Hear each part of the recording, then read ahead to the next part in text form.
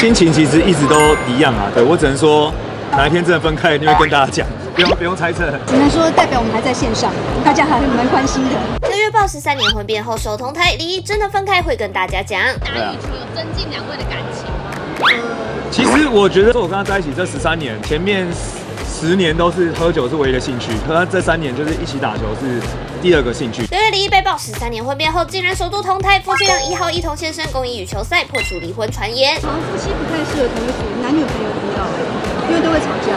对，真的。可是不同组如果有一方打输了，不是更会吵架？不会啊，如果是对面组的话，打死他。像我是好胜心比较强，所以如果我跟他同队没表现好，我可能就会有点会觉得就是，如果是我没表现好，是我说我我我我我我就会对会气馁一点的。有没有觉得一直传出这样婚变传言，觉得很无奈啊？只能说代表我们还在线上，大家还蛮关心的。之前好像有透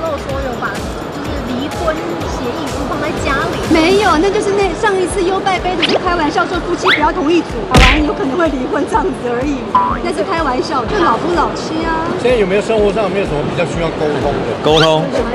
因为两个人对于小孩的可能有些习惯会不大一样啦。我们两个人其实真的很像一个公司的主管，你知道，然后每个月我的行程出来要对一下行程，因为他毕竟现在假日比较忙嘛，我要拍很多东西，所以我现在是平常日是到处跑，然后假日的时候基本上我都已经是分担小朋友的部分这样，一直都有住在一起啊。他因为他要去台中，每个礼拜去台中要去小琉球，就是我外到处跑啦，我真的在家时间也比较比较比较比较不多啦。我们的那个警卫还留言，他每天都看到我警卫进出这样子。因为邻居陈世峰嘛，他说你们需要那个户籍证人吗？然后呢，因为那个周星哲的经纪人住我们家对面，他说你请媒体来问我就好了哈。其实重点是我们两个真的都是很真实的一对夫妻啊，所以也没在演。如果真的不好就会不好，他真的对就是跟大家讲这样子，所以就是大家不用担心，谢谢各位。